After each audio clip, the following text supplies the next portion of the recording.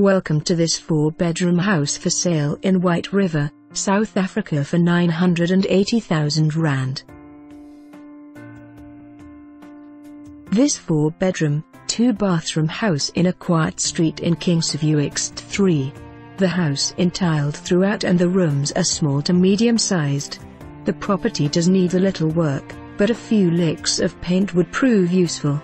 There is no security beside the burglar bar doors and windows. A good beginner property for a small family or someone looking to invest for rental income. Be part of White River community from the bustling main road to the mountain biking back roads. For more information on this property or to arrange a viewing please contact us.